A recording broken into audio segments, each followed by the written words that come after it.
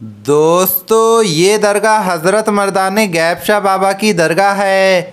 बताया जाता है, आप अरब से हिंदुस्तान आए और आपका मज़ार मुबारक बंगलौर के सी समुद्रा इलाके में मौजूद है। जहाँ ये दरगाह बनी हुई है, वहाँ आसपास का इलाका पहाड़ और पानी से घिरा हुआ है। जैसा कि आप वीडियो में देख सकते हैं, ये दरगाह बिल्कुल किनारे पर मौजूद है।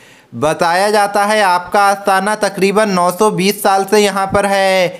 मर्दाने गैब शाह बाबा की एक बड़ी करामत ये है कि आप अरब से इस जगह पर आए एक जादूगर को ख़त्म करने के लिए।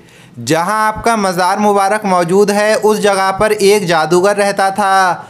उसे ख़त्म करने के लिए आप यहाँ आए और उसे ख़त्म करने के बाद जहाँ आपका असल आस्थाना मौजूद है उसी जगह आप लोगों की नज़रों से गायब हो गए थे।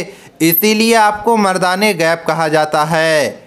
दोस्तों, ये तो पहले की करामत हो गई, लेकिन आज भी आपकी ज़िंदा करामत लोगों के सामने है। वो करामत ये है कि आपके मज़ार के आसपास पानी ही पानी है। लेकिन हैरत की बात यह है कि ये पानी किसी को नुकसान नहीं पहुंचाता। और नुकसान पहुंचाना तो बहुत दूर की बात है पानी आपके मज़ार के अंदर तक दाखिल नहीं हो पाता।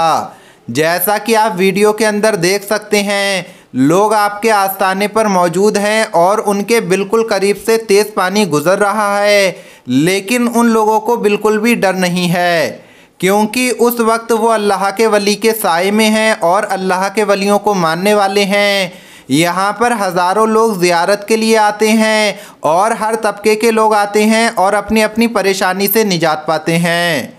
अल्लाह के नेक बंदे हमेशा ज़िंदा रहते हैं, जिनके फैस के सबब आने वाली मुसीबतें भी टल जाती हैं। आप खुद देख सकते हैं कि पानी कितनी तेज़ बह रहा है, लेकिन फिर भी दरगाह में नहीं आ पा रहा है। बेशक ये अल्लाह के वली की ज़िंदा करामत है। असल में करामत कहते ही उसे हैं जो हमारे दिमाग में नहीं आ सके। यकीनन अल्लाह के वलियों को मानने वालों का दिल इस वीडियो को देखकर खुश हुआ होगा। अगर आपको ये वीडियो पसंद आई हो तो इसे लाइक ज़रूर करें। मिलेंगे अगली वीडियो में। अल्लाह हाफिज़।